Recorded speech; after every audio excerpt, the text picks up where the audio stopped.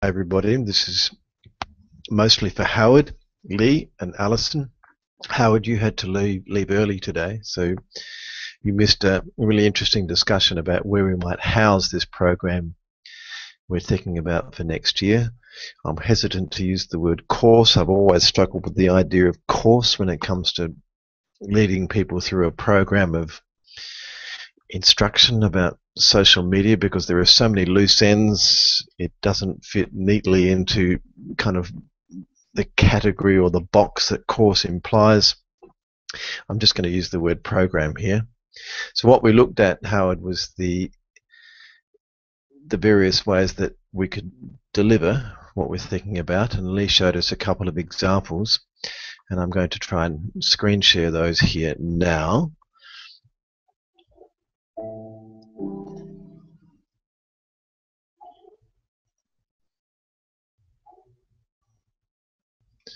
So this was a course that Lee, uh, I think, was a co-teacher on, and it, it's um, about teaching health professionals, and it uses Blogger.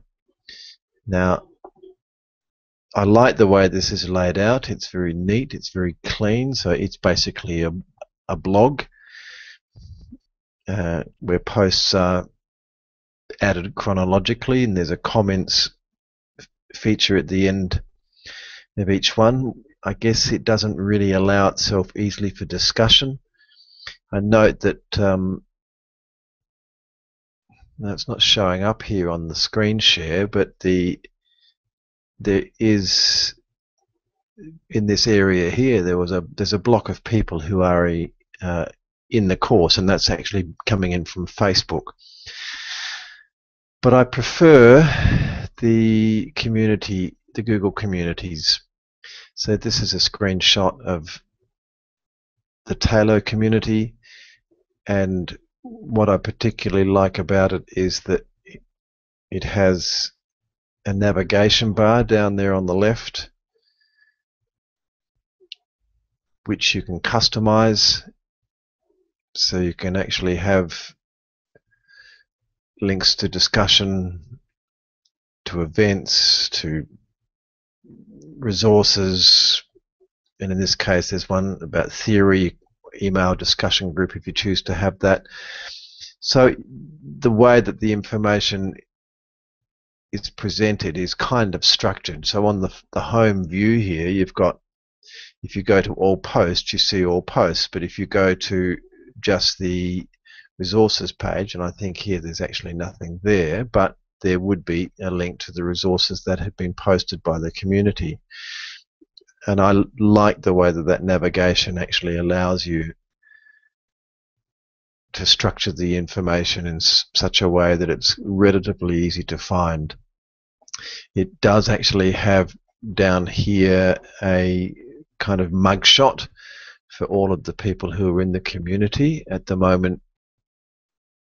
If you well, if you click on any of these, so there's Alex Hayes, if you click that, it takes you off to his profile. So how well people have populated their profile determines, of course, how well you might kind of not only get to know each other, but know know about each other. I really like the fact that there's a place where you can actually go and there's a kind of intro information about who people are, where they work, or where they study. Just yeah, a quick sketch of who they are, and I, I really like that. I don't know whether they need to have a, a Google account to do that. So I'm leaning towards using this Google community space as the home base for whatever it is we might offer. So Lee, I don't think we should use Moodle. I just don't think it fits the, the nature of the program. Um, social media is in essence about being open. Moodle is not open. There you can, of course, make it public and available to everybody. It's just kind of that's a workaround, whereas something like Google Groups is much more kind of consistent with the spirit of social media and that sense of openness. I don't think we should mandate discussions. I think that discussions will occur, but I don't think it should be the kind of thing that's a requirement as part of the structure of the course.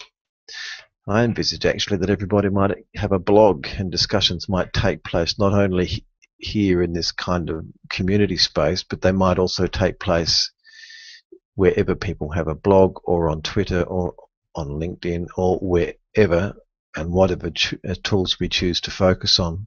So I think the discussion, again, because of the very nature of this kind of course, it's going to be it's going to be scattered, and it's about managing chaos. And I think that's a difficult thing to teach, and it's a difficult thing for people to learn. But I think that's that's the nature of this game. Feel free to disagree with me, but that's how I feel at the moment.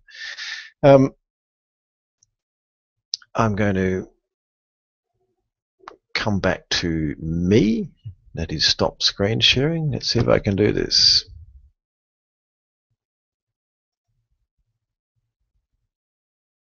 Hmm, don't know if I can. I don't really care. I don't. Do I get the option of stopping screen share?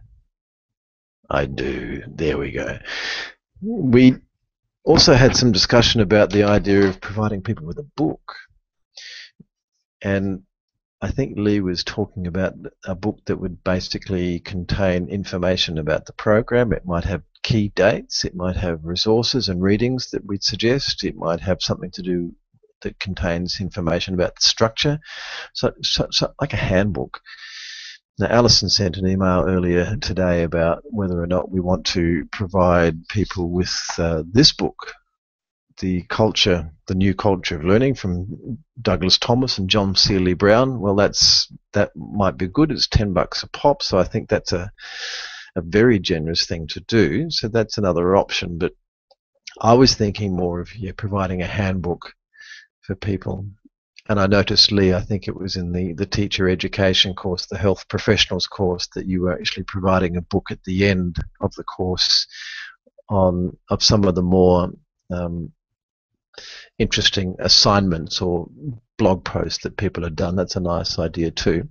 So look, there's just a few random thoughts as a result of the conversation earlier today, which I really enjoyed, and it kind of sparked me up and got me into thinking about, all right, let me take another look at Google Plus, how it works, Hangouts, the community space, how it links with Google Groups, etc.